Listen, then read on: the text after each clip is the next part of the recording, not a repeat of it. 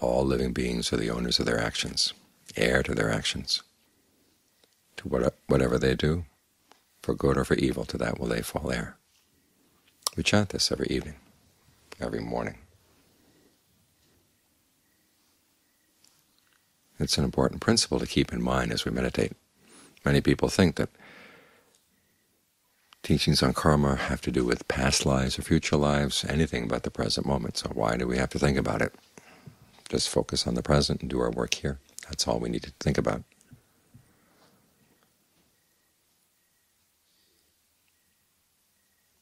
But the teachings on karma give us the motivation for being here to begin with. They give us perspective on the present moment and give some directions on what to do while we're here in the present moment. So it's good to think about them. In terms of the motivation, it's part of that series of five reflections that the Buddha has. We're subject to aging, illness, death, separation, which if we just stop with the four reflections would be pretty depressing. It makes it seem like life is pretty worthless. But then the Buddha says there's that fifth reflection, reflect on actions. He says when you reflect on this principle, then you begin to realize that unskillful behavior is something you really do want to avoid. It does matter. Skillful behavior is something you want to develop. And then when, further, when you reflect on the fact that all living beings are subject to aging, illness, death, separation,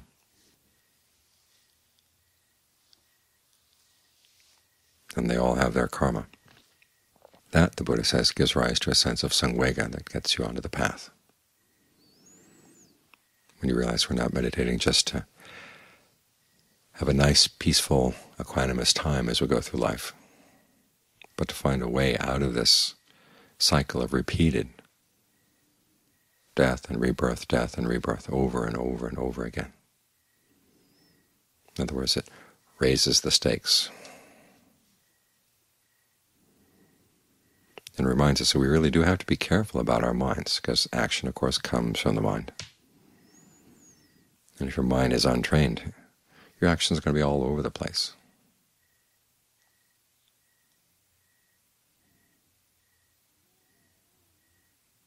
So this is why we focus on meditating, to train the mind.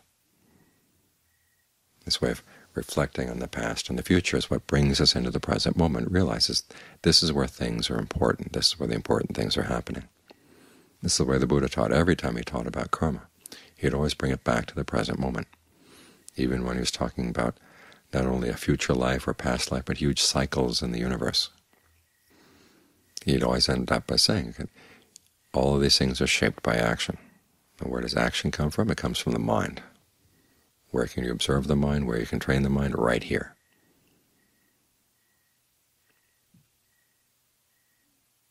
So that's why we focus right here. But further, it tells us where to focus, what to look for. You want to look for your intentions. What are you doing to shape your experience right now? What are you willing right now? And how much can you trust these intentions? A good way to test this, of course, is to set up an intention that you know is at least relatively skillful, like deciding to stay with a breath.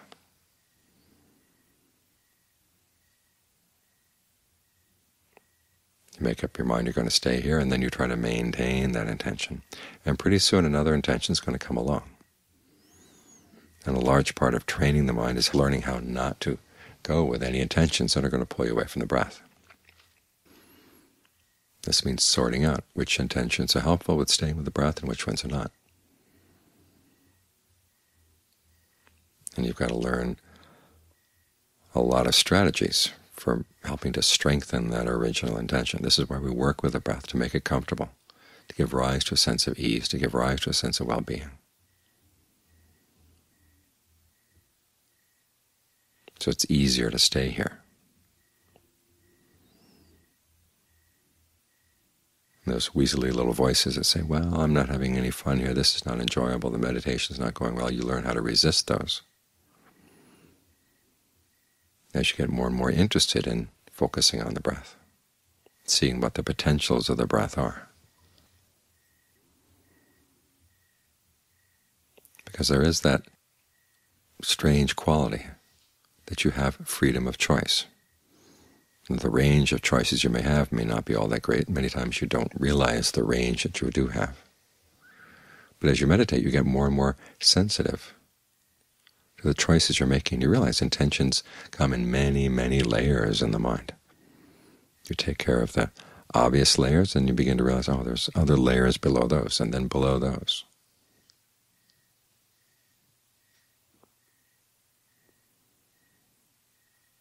And the more awareness you can bring to them, the wider your range of choices, and the more you realize the extent to which you actually are shaping your experience. And the Buddha talks about this in Dependent Co-arising. Even before you get to sensory contact, you've got intention, you've got fabrication, which is often used as a synonym for intention.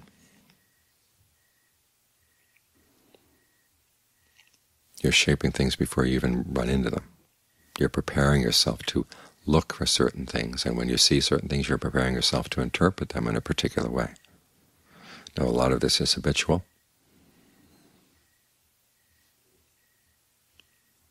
But one of the important things about meditation is you can learn to look at your old habits, step back from them, and not get carried away by them.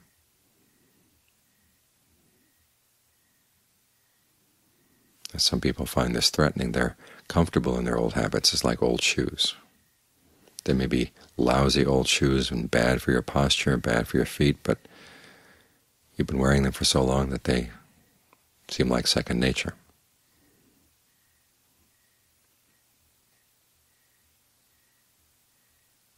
That's when you realize that they really are bad for you, that you've, you've got the impetus, you've got the motivation to be willing to try the new shoes. It's like changing your diet. You're used to hamburgers and fries, milkshakes.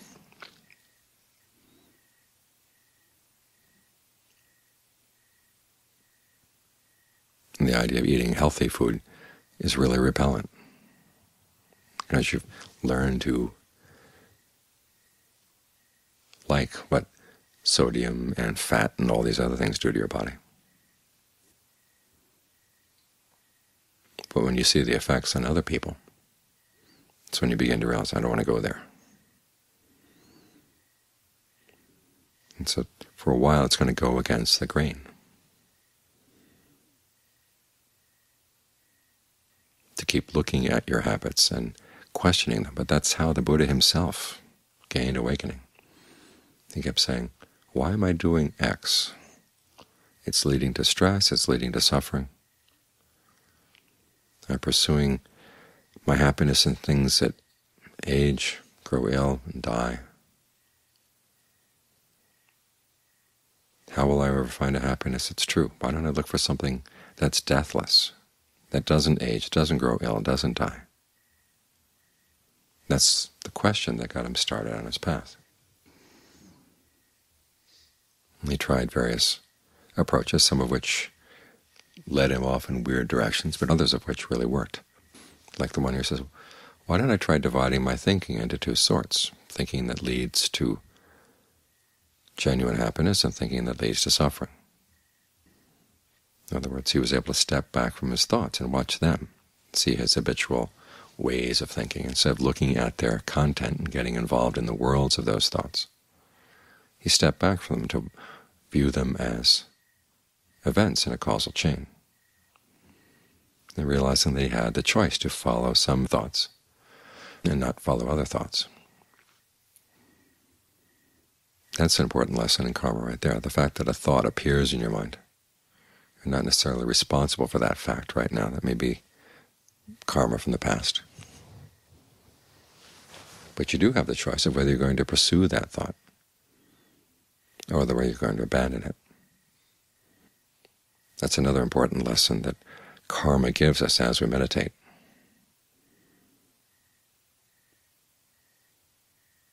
And the general principle is that you have to accept the fact that you've got some past bad karma. You never know when it's going to show up. Sometimes it shows up in unskillful thoughts or strong, unskillful urges. Sometimes it shows up in other ways. Physical pain.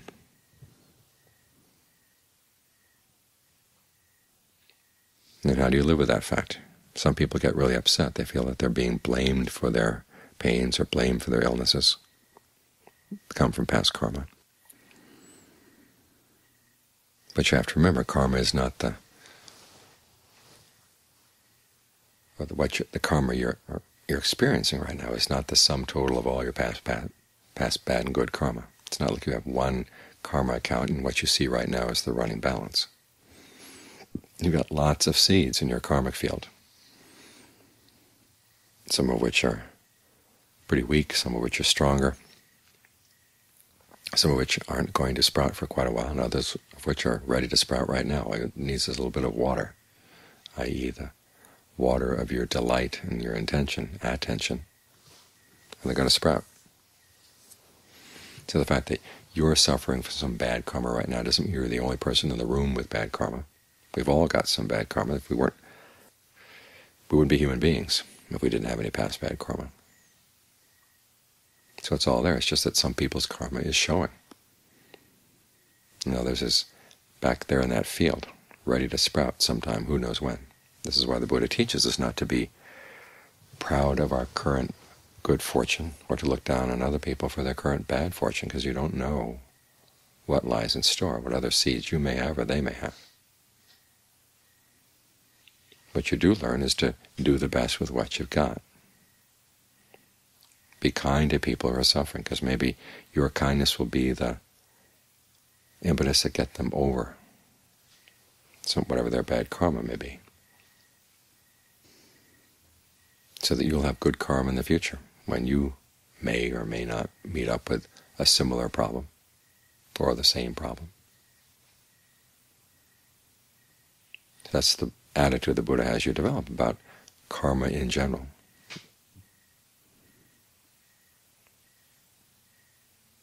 And so you try to bring the same attitude to your meditation. There are days when the meditation really goes well. Everything just seems to fall right into place. Like a well-designed machine, all the parts fit very snugly. Everything runs smoothly.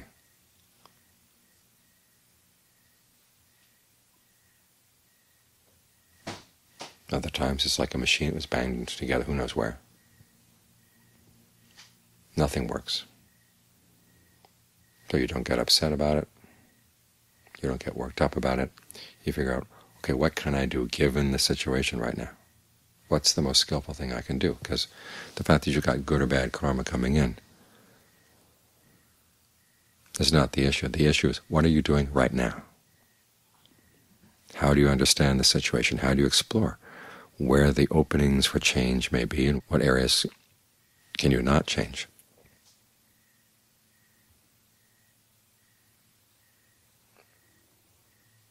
And so on days when the meditation doesn't go well or there's a lot of pain,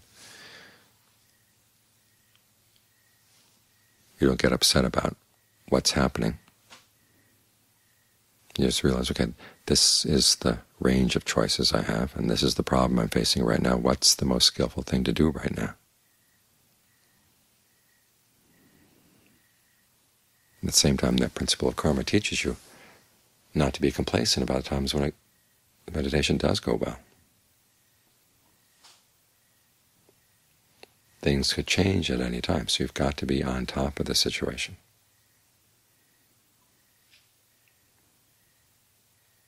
Because it's all too easy when things go by. So I'll just I'll just sit back and just kind of watch whatever comes up and be okay, and that opens the door for who knows what to come in. And it may come in only a little bit now, but tomorrow it's going to come in a little bit more, like the old story about the camel in the tent, standing out in the sandstorm, and asked, "Please, can I just put my nose in the tent?" So they like to put the nose in. And then, how about a little bit more? Can I put my eyes in so I can see so the sand doesn't get in my eyes? So he puts his eyes in. Pretty soon the camel's taken over the whole tent. And that's what happens with our thoughts. Little thoughts of lust, little thoughts of anger, little thoughts of greed, little thoughts of jealousy, whatever. Bit by bit by bit. At first they don't seem all that much of a problem.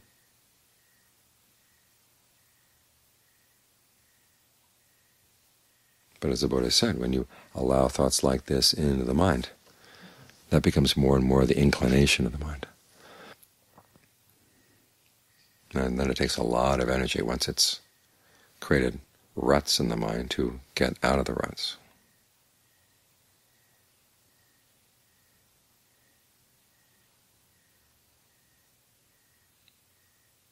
So on the one hand, the teaching on karma teaches us not to get upset by difficulties in the present moment. At the same time, it teaches us not to be complacent about things going well in the present moment. These are just a few of the ways in which the teaching on karma is really useful as we meditate. That's one of the reasons why the Buddha stressed it again and again. I mean, there's so many issues that were hot topics in the Buddha's time that he didn't touch at all. Is the world eternal? Is it not eternal? Is it finite? Is it infinite? Is your body the same as your life force, or is there some separate life force? How about if an arahant dies? What do you say about that? Does exist or not exist? Both? Neither? These are all issues that the Buddha would put aside. And there were a lot of other issues that were hot topics during the day that he would also put aside, wouldn't get involved. You know, with karma, I realized this was an issue that had to be addressed, because on the one hand he had a lot of things to say about karma that nobody else was saying at the time. People either taught strict determinism or else they taught that everything was totally random. And realized that both of these attitudes, if you really followed them thoroughly, consistently, would pull you off the path. So it wasn't just a an attitude that he'd picked up from his culture without thinking, or something he picked up because he wanted to please people. I was once asked by a Dharma teacher, well, wasn't it the case that most people in India believe it at that time? As if that were be that would be an in, a factor that would the Buddha bring into consideration at all. That he would shape his teachings by taking a straw poll. He saw what was necessary and what was not necessary for the sake of putting an end to suffering. And the teaching on karma he saw was a really important way of getting people motivated to look in the present moment, and also getting them motivated to see where in the present moment should you focus your attention, and then once you focus your attention there, what should you do with it? Keeping in mind the role of intention. And this is why when he talked about the establishing of mindfulness. There's ardency, alertness, mindfulness. Mindfulness is the keeping in mind. Alertness is knowing what to look for. And there's ardency. What do you do with what you've got? How do you shape the state of your mind right now?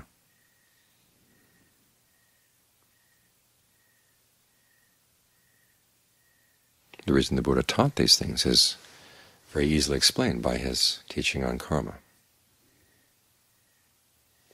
So it's good to take it as a working hypothesis. As he said, he couldn't prove all the teachings on karma to people. But he says you take it as a working hypothesis, and it's really going to help you on the path, both with your motivation and with your sense of what can be done, what needs to be done, where to focus your attention.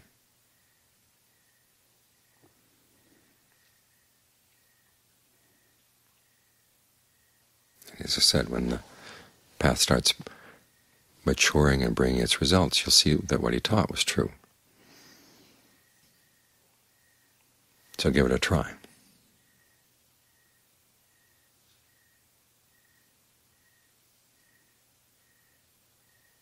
Try to use this teaching in as skillful a way as you can.